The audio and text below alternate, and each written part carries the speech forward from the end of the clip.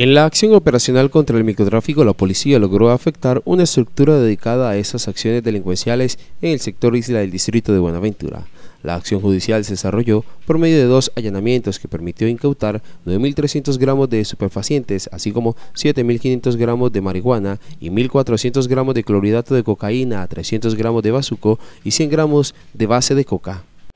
Dentro del Plan Nacional de 100 días contra el microtráfico se logran realizar tres allanamientos en los cuales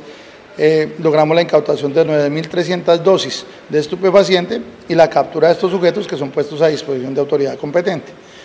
Los capturados, sustancias alucinógenas y elementos incautados fueron dejados a órdenes de la Fiscalía 46 local del distrito de Buenaventura por el delito de tráfico, fabricación o porte de estupefacientes, siendo cobijados con medida de aseguramiento en establecimiento carcelario.